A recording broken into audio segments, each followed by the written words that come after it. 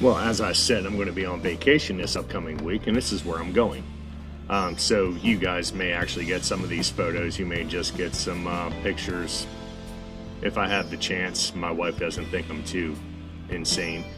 I will try to post up on here, but um, this is actually just a week of rest, relaxation, book reading, you know, all that kind of stuff that you would normally do on vacation. Get some walks in, fresh air, clear my mind, and get ready to come back to work um, where I actually do really enjoy my job. So, once again, I just wanted to thank everybody for uh, tuning in, stopping by, giving me much love, and I just wanted to say thank you. Thank you for uh, your continued support, and I hope you guys all have um, a wonderful week. I'll be checking in on you, you all uh, and everyone that I end up following on here and giving my thumbs up, my love. Uh, so thank you, everybody. Enjoy um, this Thursday. It is Thursday, right?